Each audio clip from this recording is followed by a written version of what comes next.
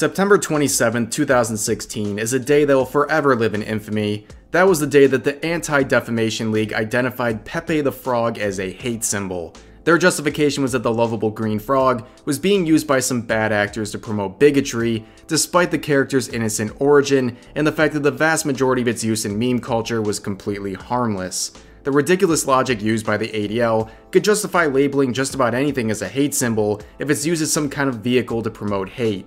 Hitler breathed, breathing oxygen was the vehicle that kept him alive to spread hate, therefore, oxygen is a symbol of hate. I know that's a ridiculous example, but identifying innocent content as hateful due to its use by a few bad actors only accomplishes one thing empowering bigots to hijack anything they want to label as a part of their culture, making these groups feel way more powerful than they actually are. However, the ADL's designation clearly did not stop people from using Pepe, which has remained a fixture of gaming and related cultures. Perhaps it's unsurprising that people did not take a organization calling cartoon frogs hate symbols very seriously, but it appears that some have not given up the fight to ban Pepe, and of course, it's a V-tweeter. This user tweeting, Hi, I know it's very late at night, but I've been thinking about it, and I think it's important to note that Sadge, Madge, etc. originate from the racist frog emote. I know people think they're funny words, but they come from an awful place, so maybe don't use them?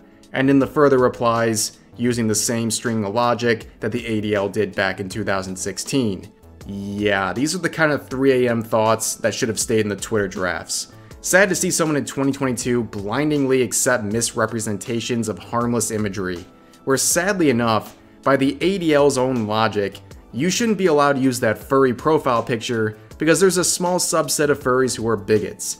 Obviously that inference is ridiculous, but it's just as ridiculous as trying to consider goofy Pepe terms as products of hate. Ah, whatever man.